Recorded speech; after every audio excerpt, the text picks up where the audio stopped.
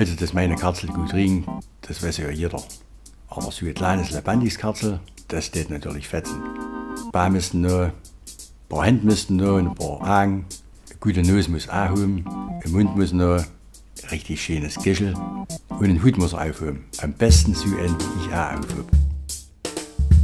Na gut, na, wenn ich mir jetzt so angucke, ich glaube, da ist alles dran. Sogar an Hut haben sie gedacht. Klick auf, darf mich vorstellen, ich bin Katzel. Das Katzel aus Neidorf, vom Huss. Habt ihr vielleicht schon mal was davon gehört? In der Zukunft äh, habe ich mir vorgenommen, euch mal was zu erzählen. Ein bisschen was von unserer Heimat, über das Erzgebirge, über unsere Geflogenheiten, was wir so machen, und auch von unserer Sprache, über das Leben halt so im Allgemeinen ein bisschen was, halt so ein bisschen was Schönes. Und wenn ihr wollt, und wenn ihr auch was lernen wollt, besonders auch über unsere Sprache, dann müsst ihr halt ab und zu mal reingucken. Und das erste, was mir schon eingefallen ist, wo schon was lernen könnt, das ist nämlich zum Beispiel ein kleines Lied von mir, vom Katzel. Das geht so. Weiter herzlich Gruß und klar, was kostet schon das Gam, bringe Gott und Heimlichkeit rein in unser Leben.